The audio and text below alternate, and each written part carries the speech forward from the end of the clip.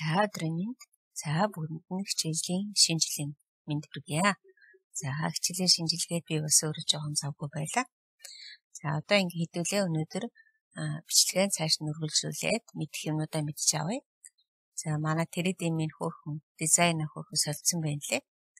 Бас хэвтэйхэн болцсон байгаа. Энд нөгөө койнууд маань хослол койнууд маань хослол гарцсан байна лээ шүү. За тэгэхээр өнөөдөр би та нарт биержийн аяг гэж юу хэлдэм бэ гэдгийг тайлбарлаж өгнө. За би энэ дэр арт coin дээр арай хямдхан байх гэж одоо тайлбарлаад өгье. За биержийн аяг гэж юу хэлэх вэ? Одоо би л өөрөө монголоор орчуулчихад байгаа шүү биержийн аяг гэдгийг.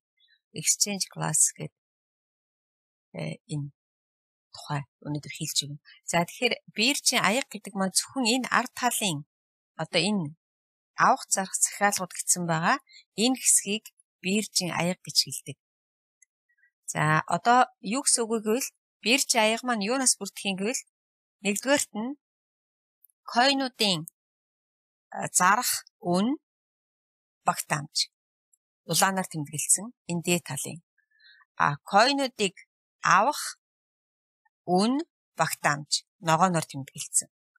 А койнуудын зарах авах үнний хоорондын одоо зай 184-9 183 10 гэдэг энэ хоёрын хоорондох зайг харуулсан одоо өөрчлөлт тийм өөрчлөлт. За ард талд нь болохоор яг энэ цаг үе минутанд одоо биелсэн гүйлгээнүүд, захиалганууд одоо захиалгануудын биелсэн одоо он сар өдөр хэмжээ бүх юм ингээ харагдаад байж байгаа. За энэ хэсгийг л одоо юу гэж хэлэх нь вэ? Бид нэр биржийн аяга гэж хэлдэг. За тэгэхээр энэ биржийн аяга маань юунд хэрэгтэй юм бэ гэхдээ зэрэг трейдер хийж байгаа хүмүүс, арилжаа хийж байгаа хүмүүс энэ арт талын аяганд байгаа захиалгануудын өөрчлөлтийг хараад би одоо яг өнөөдөр арилжаанд орох уу, энэ цаг минутанд секундэд арилжаанд орох уу үгүй юу гэдгийг шийддэг. За одоо хэдүүлээ энэ яг юу гэсэн үг юм бэ гэдгийг хэлээд өгье. Ягаад гэвэл би э, заримдаа одоо ингээд ганц нэг пост уншчихэдэг тийм фэйсбુક дээр. Тэнгүүд одоо сайн ойлгохгүй мүү мэддэггүй мүү те хүмүүс ингээд аа. Одоо энэ биержийг хүмүүс хянжээдэг. Тэ одоо ингээд энэ жишээлбэл бараг л худалчиг нь хин гэдэг хүн ямар хідэн койныг ямар үнэтэй зарж байгаа гэдгийг хүртэл харж идэг гэж ингээд тайлбарлаад байгаа. Тийм ерөөсөй байхгүй. Энэ бол төөрөгдөл. Энэ аяган дотор Тэрэдэмэн юм уу? Одоо Binance ч юм уу, CoinHub ч юм уу бирж дээр бүртгэлтэй энд арилжаа хийдэг бүх хүмүүс энэ аяган дотор байгаа захиалгануудыг хідэн хөдөн төгрөгөөр ямар coin хэдий хэмжээтэй хэдэн цаг минутанд секундэд зарагдваа гэдгийг харж идэг бүх хүн. Ерөөсөө л би бүртгүүлээл энэ рүү орсон бол би өөрөө бүгдийг харж ийн гэсэн. Тэгэхээр хин нэгэн хүн хараад бусад хүмүүс харахгүй байх гэж ойлгож болохгүй. Би тийм пост уншиж исэн. Тэгээд энийг өнөөдөр тайлбарлахаар шийдлээ. За тэгэхээр туршлагатай трейдерүүд одоо энэ аягаагаа хэдүүлээ онлын хувьд одоо энэ ард талд байгаа авах зарах захиалгууд маань хоёр категоритой. Нэгдүгээр категори нь болохтан зэрэг нэгдүгээр бүлгэнж гэдэг юм үү те нэгдүгээрх нь болохтан зэрэг арилжаа одоо маш их төрөмгийн маягаар явагдаж байна. Одоо орсоор л агрессив нэг гэж хэлдэг. Айгу төрөмгийн явагдаж байна э, гэж гэсэн нэг юм категори байдаг. За энэ юу гэсэн үг гэвэл захиалга ерөөсөө секунд секундээс бага хэмжээнд захиалганууд хурдан биелж гин гэсэн үг. Одоо ерөөсөө маш хурдан хугацаанд яах нь зарагдаал аваад зараал аваад зараал аваад ингээд ерөөсөө яаха нүдэрмхийн зургүй ингээд арилжаа явагдаж байгааг юу гэж хэлэх нь төрөмгийн арилжаа гэж хэлдэг. Агрессивны арилжаа гэж хэлдэг. За эсвэл хоёр дахь болохтон зэрэг итгэхгүй арилжаа гэж нэг категори байдаг. За итгэхгүй арилжаа гэдэг нь юу гэвэл энэ төрөний миний хэлсэн зарах үн авах үн хоёрын хоорондох харьцаа хэд хол болохоро тийм арилжааг итгэхгүй гэж хэлдэг. Яагаад гэвэл авах хүн зарах хүн хоёр хоорондоо нийлж мөргөлдөхгүй бол арилжаа огт хийгдэхгүй.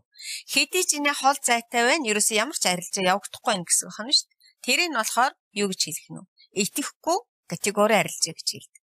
За, дихтэн зэрэг одоо яг туршлагатай тэрэ идрүүд туршлагатай арилжаа хийдэг хүмүүс юуг нь харах нь гэвэл график харахаас гадна энэ арт талын аягыг хараад одоо тийм нөгөө их амар хурдцтай арилжаа явагдаж байгаа үед тэд нэр ингэж ойлгох нь тийм үү? Хэдий хэмжээний coin яагаад ингэж үнэн дээшээд яваад байна уу энэ дээр орох хэрэг байна уу? Үгүй юу? гэдгийг шийдэх нь шүү дээ тийм ээ. Тэгшээ шийдэж яагаад гэвэл одоо жишээлбэл 50хан coin 100хан coin ни үнийн нэмэгдээд зарагдаад байна уу? Тэ баг хэмжээтэй. Багтаамж нь айгүй баг мөртлөө үнийн нэмэгдээд зарагдаад байна уу? Эсвэл айгүй өндөр багтаамжтай их үнээр зарагдаад байна уу гэдгийг харж агаад шийдэх нь орох уугүй юу гэдгийг. За шин манай нөгөө шин хүмүүс маань дөнгөж арилжаанд орсон хүмүүс маань тэрийг юусоо ойлгодгүй хэдий хэмжээний багтаамжтай coin зарагдж яах нэгдгийг хардаггүй урд талынх нь үнийг хараад сандарчдаг. Одоо жишээлбэл энэ дээр 184 99 одоо энд харж байна. Энэ графикэн дээр би одоо харуулъя. 249 хүрсэн шүү дээ. Тийм ээ 2 3 өдрийн өмнө. Шинэ хүмүүс ерөөсөө ингээл 200 10 гээл 200 210 230 240 245 гээл ингээл нэмэгдээл эренгүүд шинэ арилжаалдаг хүмүүс маань сандарч эхэлдэг. Ягаад гэвэл нөгөө сэтгэл санааны хувьд бэлэн биш байдаг учраас тэдний толгойд нь юу ихэлж орж ирдгүү гэвэл Энд чи одоо ингээд өссөөр байгаа 400 хүрэх гэж байгаа юм байна. Би тэрнээс өмнө одоо 400 хүрэхээс өмнө амжиж авах хэрэгтэй юм байна гэж ойлгоод айгу хурдан худалдаад авчдаг. А нөгөө ард талд нь байгаа багтаамж нь ерөөсө хардггүй. Одоо жишээл 145 дээр 245 дээр хитэн coin зарж байгааг ерөөсө хард хардаггүй гэсэн үг энэ ард талынхыг одоо жишээлбэл 300 245 дээр 300 зараад 247 дээр 200 гэж зарлаа гэдэг чинь айгүй бага хэмжээтэй мөртлөө үнэн өсөд байгаа үстэй.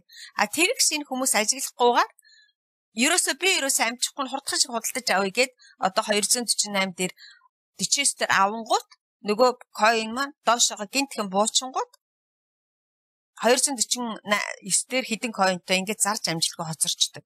Нэг ийм том алдаа гаргадаг. Ягаад гэвэл нөгөө энэ аягаан шинжилгээ хийж харж чадахгүй нь шүү дээ тийм үү. Дараагийн нэг актер шинэ хүмүүсийн алдаа болохтон зэрэг миний байнга хэлдэг байгаа мөнгөөр авчдаг. Одоо жишээл үн өсөнгүүд сандарчгүйгээд би л ерөөсө хоцорчих гээд энэ гингүүтээ 100% мөнгөө 100% тавиад авчдаг нэг тал үед. Тэгээд дараа нь буун гут нь худалдаад авах мөнгө болчдөг гэсэн үг. За ийм алдаа гаргадаг. За 3 дугаарт нь болохгүй зэрэг нөгөө шунал гэдэг актер юм байгаа тийм үү? Заста хурдхан шиг 200 өсөж байгаа дэр нь 240 дээр аваад дахиад 249 дээр зарчээ гэж санаандаа ингэж ойлгодог боловч тэр болгон тийм байна гэж байхгүй. Эргээл одоо унцдаг талгүй. Тэгэхээр миний өнөөдрийн хэлэх гээд байгаа юм бол сайн трейдер болохын тулд энэ арт талын аягыг аяганд байгаа энэ захиалгануудыг судлах хэрэгтэй. Жишээлбэл одоо ингээд 183 10 дээр 855 coin зар юу явах гэж байна? Зарах гэж байна. А худалдаж авах гэж хүн бол 183 00 дээр 5000-ыг худалдаж авах гэж байна. Харьцангуй 183 дээр худалдаж авах гэж хүний э, хэмжээ бол айгүй гайг байгаа ч тийм үү? А тэгээд энэ хоёрын 10хан мөнгөний зөрөөтэй байна гэдэг чинь энд одоо гүйлгийг аятайхан эвтэйхэн явах боломжтой байна гэсэн. А хэрвээ хит амир холтой тэр дээр 183 байхад энэ доотлол дээр одоо юу гэдэг авах хүн бүр 120 хэд ч юм уу 140 хэд байх юм бол энд хизээч гүйлгээ биелэхэд хэцүү итгэхгүй арилжаа байна гэсэн. Тэгэхээр аль нэгэн coin дээр яах нь вэ? Энийг олж хараад хэдий ч энэ ойр байна тэгвэл бас арилжаа идэвхтэй явах магадлал өндөр байна гэдгийг харж авах нь. Энэ аяган дээрээс. Дараагийн аяган дээрээс харж авах юм бол одоо энэ 182 дээр би худалдаж авчаад Сайндаа л одоо 188 хүргэж зарж ээж эндээс өөрийнхөө ашгийг харна. Тэрнээс биш 182 дээр авчаад 282-ыг хүлээх юм бол ерөөсөө энэ жил бүтэхгүй. Тэр бол хоол хийдэг хүмүүс л тэгж хүлээдэг. Эн чинь бол арилжаа хийдэг хүн биш, хоол хийдэг хүмүүс. Яг л удаан хугацаагаар хадгалдаг хүмүүс. А тэрнээс биш 182 дээр авчаад 282 болохыг хүлээгээ сууж ивэл энэ бол арилжаач юм биш. Арилжаач чинь хүн бол үн өсөх бүр нөгөө аймаар хөсгийг хүлээх биш эсвэл аймаар унахыг хүлээх биш богинохон хугацаанд одоо тийм богино арилжаа хийж ашиг гаргадаг хүний хилдэг. За тэгтээ зэрэг нөгөө авсан үнээсээ л үнтэй зарж байгаа хүн хүн л ашигтай байна уу гэхээс биш айгүй өндөр үн дээр авчаад буцаагаа сандраад хямдхан үн дээр зарж бол та арилжаа хийдэг хүн биш тийм ээ одоо яг жинхэнэ паник дээр явж байгаа гэсэн.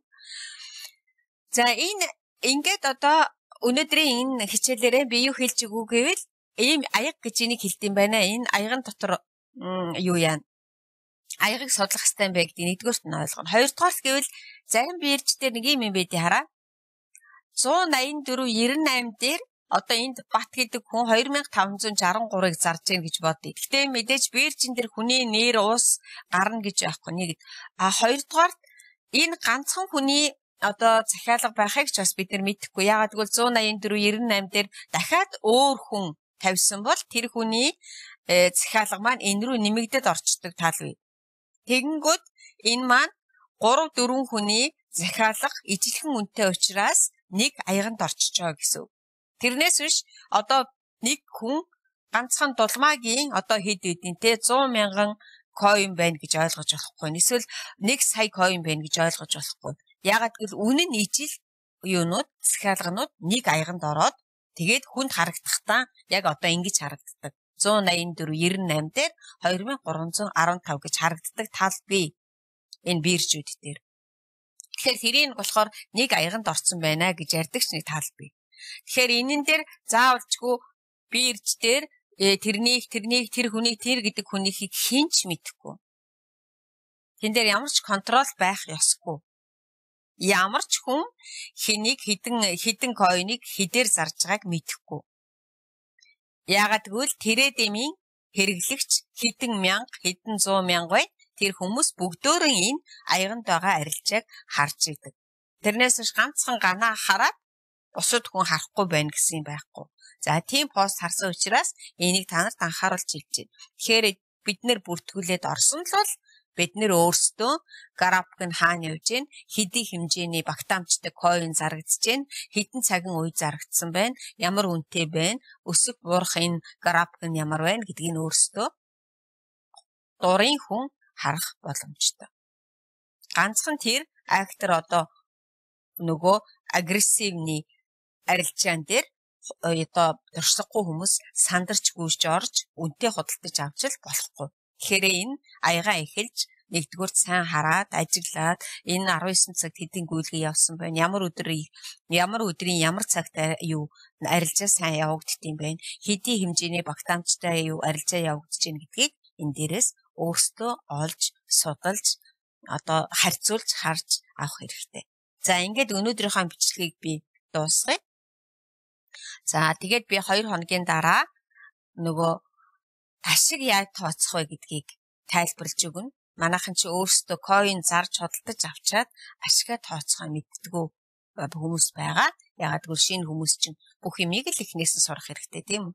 Тэгэхээр ашгаа шимтгэлээ яа тооцох уу, ашгаа яа тооцох уу, би ашигтай ажилласан бэ нүггүй вэ нүг гэдгийг яа тооцох уу гэдгийг би 2 хоногийн дараа дараагийн бичлэгээрээ оруулж өгье.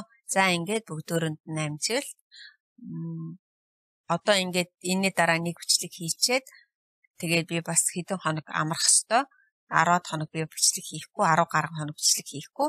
Тэр болтол миний хуучин бичлэгнүүдийг үзээд явж байгаараа. За өнөөдрийнхөө бичлэгийг ингээд дуусгая. thank you